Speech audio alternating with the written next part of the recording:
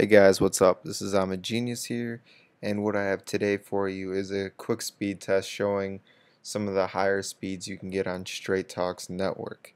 I have the AT&T version of uh, Straight Talk SIM card popped in here, and I am running this on a Sony Xperia Z2.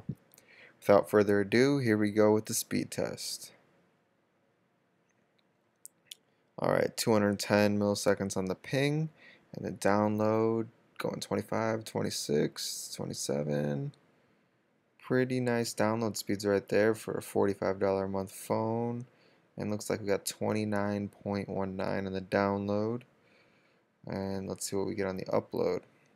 This is probably one of the higher speeds that I've gotten on this phone in general, uh, on Straight Talk on any of the phones that I've used for it.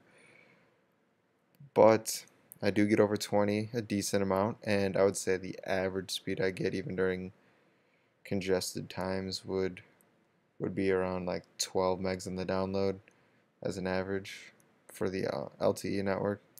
Here's another speed test for you guys. See what you see what I get just to back it up with more proof. Uh, over 20, 19 looked like it dropped down to 17. Still pretty good speeds.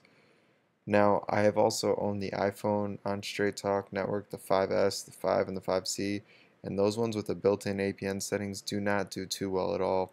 They average around like 6 at the max on a download, unless you jailbreak it, that is, and enter the APN settings manually. But, so, so my recommendation is to stick with Android unless you're going to jailbreak your iPhone on Straight Talk network, that is, just for Straight Talk. That's the only reason I'm saying that. Here's the APN settings I have for these speeds that I got if you're a little curious. So I'm going to show them. Alright. What am I doing? Let's go to the APN settings. Sorry about that.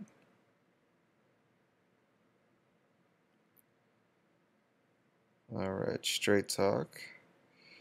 I'll post these in the description for you guys if you can't really read them on the screen or if it's going too quick. But here's what I'm running just to show you.